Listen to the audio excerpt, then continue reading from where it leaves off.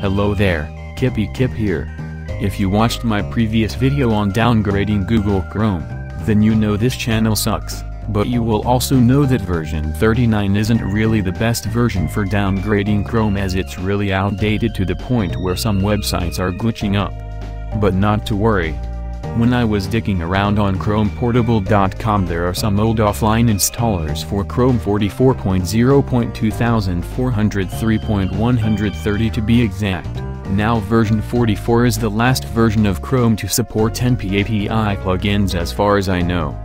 I'll put links to the extracted installers in the description. Or you can do it yourself with WinRAR or something like that as it doesn't really matter. Anyway. So if you already downgraded Chrome to version 39 from my last video it's pretty simple. All you gotta do is rename chrome.exe to something else or delete it. Then paste the version 44 binaries in here.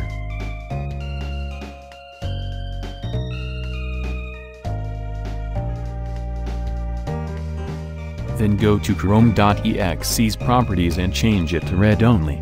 And that's it. It still shouldn't update so you're all good. However if you didn't watch my other video, watch it and do the same thing except instead of using version 39 from that video, use the version 44 from the description of this video. Because if you don't do the permission steps from the old video, then Chrome will still update itself and ruin your day. Anyway after you do all of that, you need to go to the address bar and type chrome colon slash slash flags.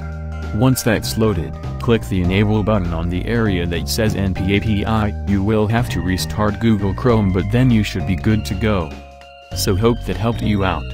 If you have any problems let me know in the comments and I'll see if I can help. Anyway, see ya.